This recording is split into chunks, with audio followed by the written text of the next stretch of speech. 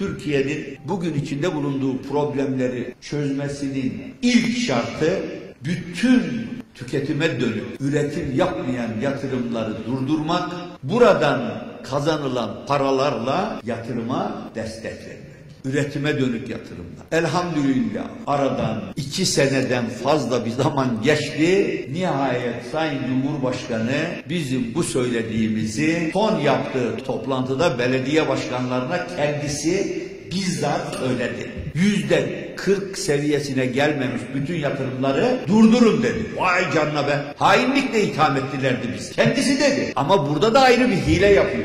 Arkasından yüzde yetmişi geçen yatırımlar varsa onları çabucak tamamlayın. Aradaki yüzde otuz da olacak. Yüzde yetmişi geçenler tamamlanacağına göre diğerleri de duracak demektir. Yani yüzde yetmiş seviyesine gelmeyen yatırımların hepsi terk edilecek. Talimat veriyor Sayın Cumhurbaşkanı. Bizi hainlikle itham ederken, kafasızlıkla itham ederken. Başka çare yok çünkü. Devam ettiremiyorlar, götüremiyorlar, para bulamıyorlar. Para da basamıyorlar.